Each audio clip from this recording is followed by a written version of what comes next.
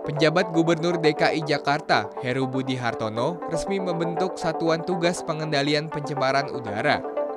Penetapan tersebut berdasarkan keputusan Gubernur nomor 593 tahun 2023 tentang Satuan Tugas Pengendalian Pencemaran Udara yang diteken pada 4 September 2023.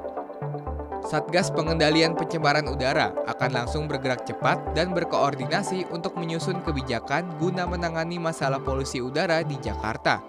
Heru menjelaskan tugas Satgas Pengendalian Pencemaran Udara di antaranya adalah membuat standar operasional prosedur penanganan pencemaran udara di DKI Jakarta, mengendalikan polusi udara dari kegiatan industri, memantau secara berkala kondisi kualitas udara hingga dampak kesehatan dari polusi udara.